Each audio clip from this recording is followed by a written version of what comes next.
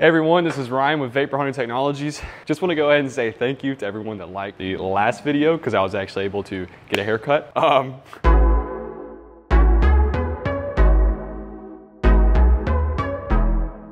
we're actually hopping right back into the Honda 250 project here. I've got one of the engine cases here that's got some seriously old paint, some pretty nasty rusting as you guys can see, and some, some serious corrosion going on in here. So we're gonna clean up both sides of this. I'm actually gonna run a little bit of an experiment here. As you guys can see, there's some bearings that are exposed. And as you know, with wet blasting, you do have an abrasive. And so what we're gonna try and do is not only clean this up, polish it up, but then we're gonna try and use the hydroblast to remove that abrasive that's trapped in those bearings and see if we can get them spinning freely again. So this should be a really cool video because it's going to show uh, removal of paint, polishing, and cleaning after wet blasting all in one video. So without further ado, let's get to it.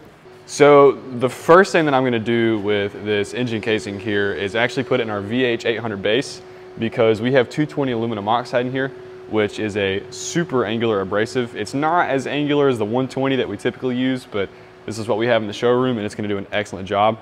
If you guys saw in the last video, I was actually able to remove this paint with glass bead. That's not typical, but I guess just because this paint's been on here for so long, it's kind of getting to the point where it's ready to fall off. Um, so this 220 is going to make quick work of any paint, rust, grime that's on this engine case. So let's go ahead and get to it.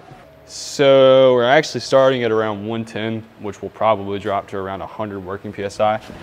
Um, it's usually a good idea to blast at higher pressure when you're trying to remove paint.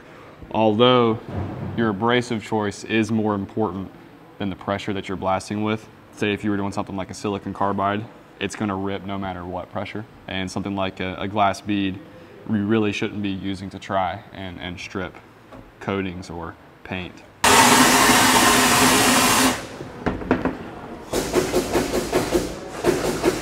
Sometimes these things get hard to see in, but usually if you let the, the vapor dissipate, it gets a whole lot better. So I did miss a few spots. I think that's just abrasive, but uh, a few places here and there. I'm gonna finish this up probably in total. I've been working on this for about eight minutes. This gasket's actually coming off fairly well. These bearings are definitely getting some abrasive in them. So again, we'll see if we can clean those out.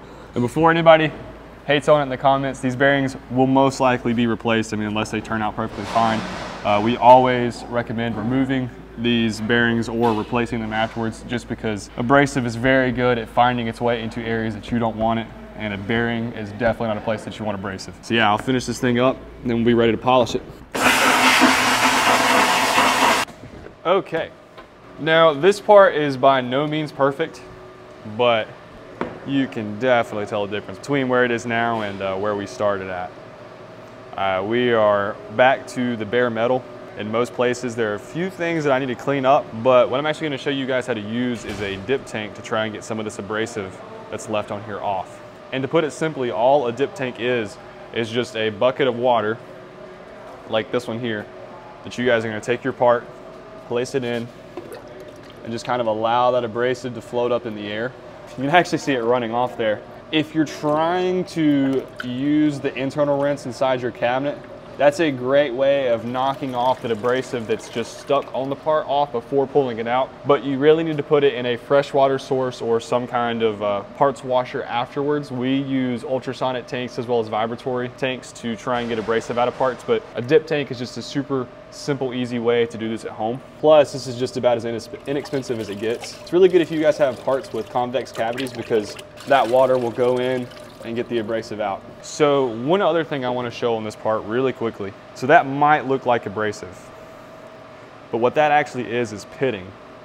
So if you remember earlier, whenever this thing was sitting on the table, this section here had a lot of rust and corrosion, and so it's actually started to eat away at this aluminum. And I'm hoping that when we put this in the glass bead machine, we might be able to smooth it a little bit, but usually pitting when it's this severe is left on the part. And see, there are a few areas that I missed, so we'll be able to see how well the 1000 HD with the glass bead does.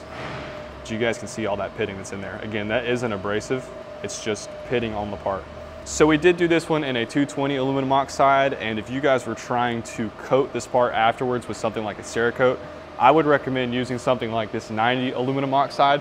I believe the Cerakote calls for an 80 grit dry aluminum oxide, but a, like a 70 or 90 grit aluminum oxide in a wet cabinet is gonna get you the same results. Before we continue on this part, I actually wanna talk about the significance of this machine. I'm sure you guys have seen it in a multitude of our videos. It's been in the showroom since technically 2016. This is actually the first plastic wet blasting cabinet that we had here. And much like the 700, this machine was actually created to fill the needs of people who were looking for a more economical model of a vapor blasting machine. That's actually why John started creating these machines is because when he was looking at purchasing one, something this size was gonna be $20,000. And I think when we released it, it was what, around eight, I believe? And now it's actually down from that. Uh, just because we're trying to reach those economies of scale and get stuff down by buying in bulk so that we can give you guys a lower cost. But that's again, that's why this machine was actually created. And that's something that we've always tried to do here at Vapor Honing Technologies is, you, is give you guys a very capable machine at the lowest price we possibly can. Um, we, we do not cut quarters when it comes to capabilities. I mean, these things are fully fledged wet blasting cabinets. This one, like I said, has been in service since 2016. And again, we stand behind our products with our lifetime warranty. So if you guys buy one of these machines, we are here. You can call us anytime. We will get you the parts that you need to stay up and running. Again, we do like to provide you guys with as much capability as possible at the lowest price. And it's why I believe we are the leading manufacturer in the United States is because we stand by those values. Let's get back to this part. So to finish this the rest of the way up, I'm gonna be using our VH1000 HD. Now, this machine has 170 to 325 glass bead in it. That's a very good mixture if you're trying to polish stuff up. It's actually something we have on our website if you guys are looking for that abrasive. Now, this machine here is truly an industrial offering that we have. It has our custom built in-house pump and it actually does a very good job of making sure that you get an accurate amount of slurry pumped to the blast gun. Um, the rest of these machines use more of a standard style, which works perfect. You're gonna get the same results. This one here just does a little bit better job at actually agitating the, the slurry in the bottom. This machine was created in response to companies who wanted to guarantee they weren't gonna have any downtime. For that reason, it's incredibly overbuilt for the average consumer or average business. Um, the 1000 has actually been in our lineup since the beginning and we have ones that are operating and have never had any issues, but this was our guarantee. So if you guys are a business who are looking to make sure that your machine is going to be constantly up and running, this is your answer. You're not gonna have any issues. And actually the way the pump's set up, we try and make sure it doesn't suck up as much stuff, because that's usually what causes other pumps to fail is uh, someone drops something in the hopper and it gets, it gets sucked up. But uh, this machine here is actually very good as far as longevity goes and also gives really good results. Just like every other machine we have, this thing's pretty wild.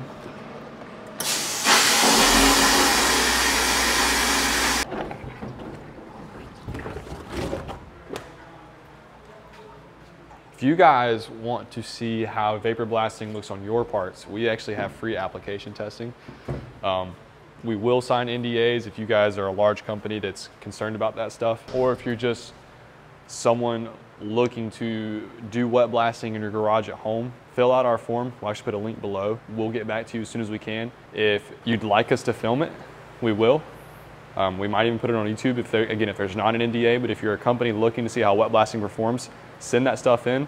We'll blast it for free, show you guys how it looks with different abrasives, different finishes, try and get it tailored to how you want it just so you can be certain that wet blasting is actually going to perform how you want it to on your parts. So again, if this is something that you've considered, that being wet blasting, definitely send your parts in, see how they look once they're cleaned up, and see how you can use it on your parts.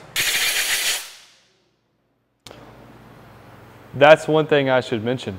I'm kind of glad that fell off. We actually use just normal everyday painter's tape to cover up areas like this uh, this data plate here just so that it doesn't damage it because those thin metals can be damaged by wet blasting. That one's actually been through this machine, the duct tank, and the HD, and it was still holding on. So painter's tape is actually a very good way of protecting those areas that you don't want to just hit with the full force of wet blasting. So I'm kind of glad that I saw that. I hope this shows up as well on camera as it does in person. That looks phenomenal. So just want to point out that pitting is actually still present and you can see it in a few places.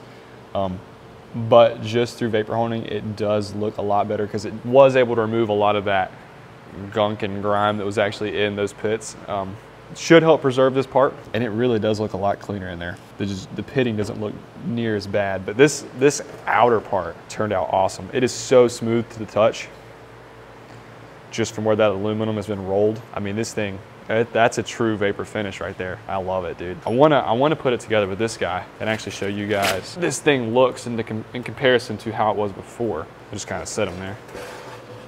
I mean, look at that. I hope I didn't get it dirty. That is incredible. It's actually wild how much cleaner this side is. I didn't actually look at this one before as far as how much gunk is actually on the inside, but just looking at the paint and how clean this turned out. How long would you say this took us in total, John? What would you what was you giving an estimate of? Probably 30 minutes yeah, total blasting. So that includes using both abrasives and cleaning the parts afterwards. You guys can create results just like this in your shop in about 30 minutes. And again, that's one thing um, that we try and do, kind of like what I was talking about earlier, is packing our machines full with as much capability and potential as possible. You're gonna be able to create these results regardless of the machine that you purchase. So if you have a micro, these results are achievable. If you have a 700, achievable. If you go top of the line and get a 1000 HD, these results are achievable. Um, you're not limited as to your potential by the amount that you spend. And again, even if you do decide to start with a micro and you realize that it's not large enough to do your parts, use the trade up option. Again, you get all the money that you pay for that micro back to put towards something like an 800. That way you're not stuck with something small and it doesn't work out for you, you can always upgrade and get something larger. And again, no matter which machine you have, these results are going to be achievable. I mean, this looks phenomenal, dude. That's what we should say about the 700. We should say it's packed full of capability because that's literally what it is. I mean, you, you can do that no problem in a 700. And you know, whenever you start blasting and you accidentally knock the part halfway across the country inside of one of these machines, and like, especially if you're in the, the HD, you have to go and pull it back if it's a smaller part. Yeah. Don't have that issue in a 700. Thing is so like perfectly sized that most of your parts will fit. What would you say? Probably 80% of the parts yeah. you want to blast will fit. Actually, it's probably more because I think we say 80 for the micro. But dude, I love that little thing. I, I, I really do. And I'm a FL kind of guy. That's what I actually have in my house. But uh, yeah, the 700 is kind of yep. kind of taking that top place. The top. Just because for for how much you spend and what you get and the ability to place it anywhere you want to, can't beat it, bro. I like it. So if you guys like this video, please give us a thumbs up and also consider subscribing. I mean, we post a ton of educational videos, before and after videos, stuff that you guys will want to see on our YouTube channel. So make sure you're subscribed. Also check out our other socials because we post stuff all the time on there, including sales updates. If you guys are considering getting one of these, you can always be up to date on the sales using our uh, social medias. Make sure you guys go check out the other videos that we've done with this 250 project, just so you can understand how easy it is to replicate these results in your shop. And again, if you guys are ready to get the best wet blasting equipment on the market today in your shop, home, industry, whatever it is, business, left out business, make sure you guys call us at 828-202-5563. We'll be happy to help you determine what abrasive, what machine, what pressures, everything that you need to be doing and knowing when you're starting to wet blast to create the optimal results for your parts. We can help you guys determine that and get you set up with a machine. So again, that number is 828-202-5563. Please give this video a like and leave your questions and comments below. Thank you all for watching and I hope you have a great day. Peace.